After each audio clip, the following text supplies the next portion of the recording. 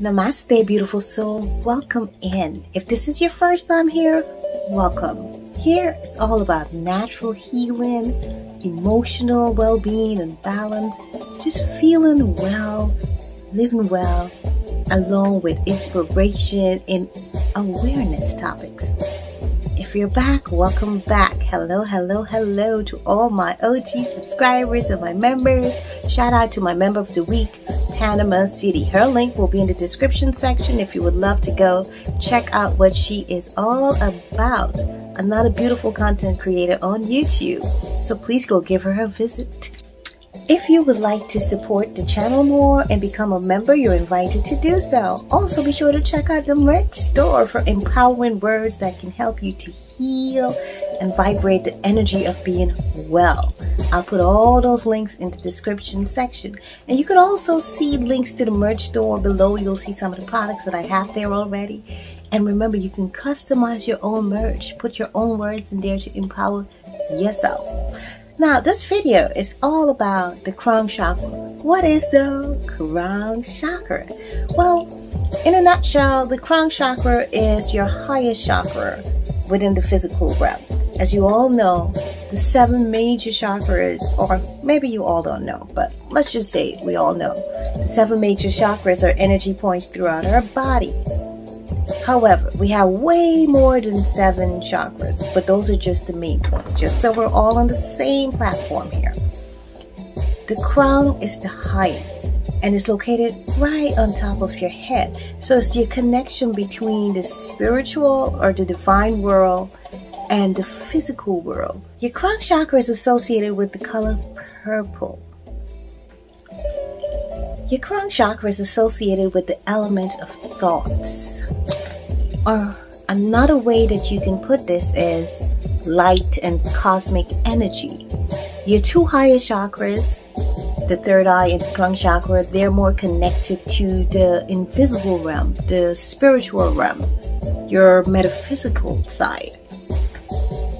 Your crown chakra is all about your spirituality, your spiritual side, your divine connection with divinity, if your crown chakra is open, you should be feeling open minded. You should feel connected with the universe, with the invisible realm around you.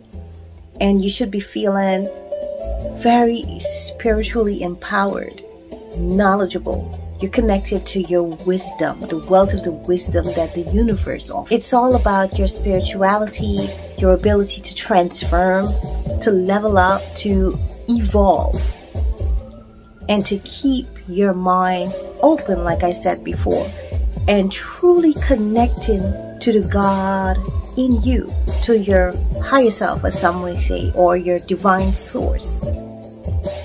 On the physical side, if your crown chakra is blocked, you might be feeling confused, you might suffer from psychosis or just disassociation from your body, just feelings of disconnection those are signs that your crown chakra may be blocked.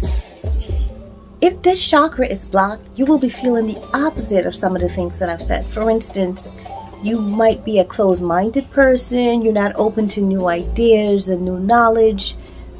You're probably just not looking to level up. You're comfortable wherever you are. You're not interested in evolution.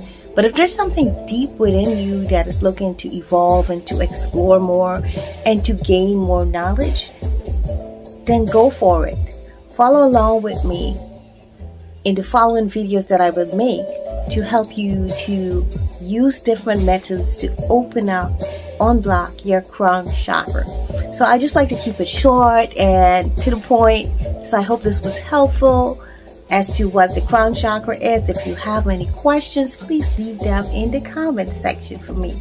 Again, thank you for being here with me. I wish you nothing but wellness and love on this amazing journey on this beautiful planet we call Earth. And again, thank you for supporting the channel. Thank you for all the super chats and the super thanks, the cash apps, and for supporting the merch store. It truly helps me to keep the channel going I could buy equipment for the channel to make better videos. I can also give more to charity, as you know, or if you didn't know. What I do, I take 10%, at least 10% of everything that I receive, and I give back to charities that I believe are making a beautiful impact on this planet. So keep on giving and may you keep on receiving. Blessings returned to you multiplied. Thank you for the thumbs up. Take care.